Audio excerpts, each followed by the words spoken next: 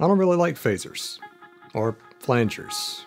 Even chorus, a little bit goes a long way for me. So when Alexander sent me their new Leap Series pedal, the Luminous Phase Shifter, so I had to find other uses for it. I tried just about everything I could think of for it, and it worked really well in certain applications. Shockingly, not too well in others. I tried introducing it to my other Alexander pedals, and uh, it was bullied and, frankly, treated very poorly.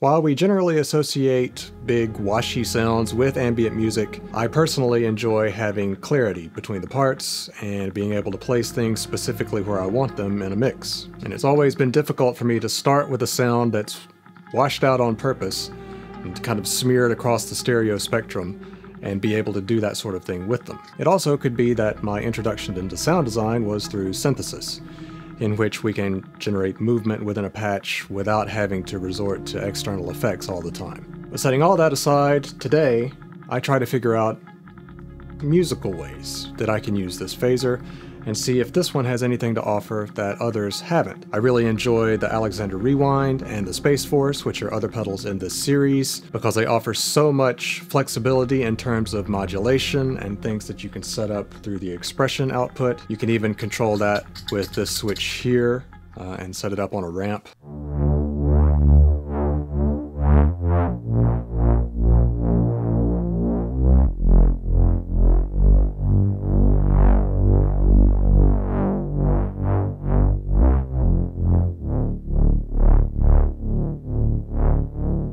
The ability to modulate multiple parameters at one time, really powerful in these pedals, and we're going to see if I can do something with my Moog Matriarch that would be interesting and change my opinion on phasers once and for all.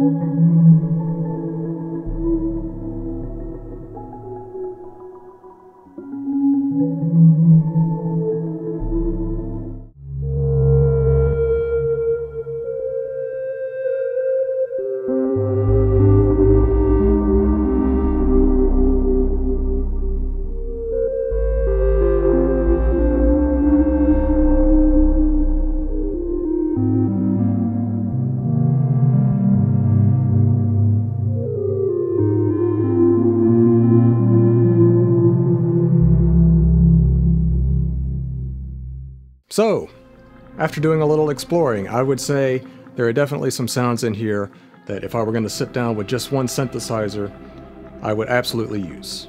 I still don't think I would use a phaser or flanger much in a mix, but if it's just one-on-one with a synth or one element, one or two elements, can really create some interesting movement. And if you're a fan of phasers, I think this is a no-brainer. Even though you can do some pretty deep stuff in this pedal, it's pretty easy to navigate, and that's one thing that I like about all of the Alexander pedals.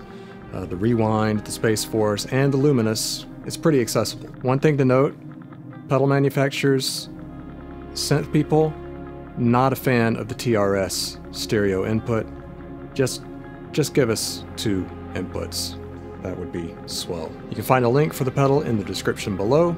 If you click on that link and go through the affiliate program, that will support the channel. If you'd like to support the channel even more and become a member where you can talk about synthesis and sound design and composition with other supporters of the channel, you can join my membership and I'll put that in a card right here somewhere. If you'd like to see more videos like this or about synthesis or composition in general, you can subscribe and uh, of course like the video if you like the video.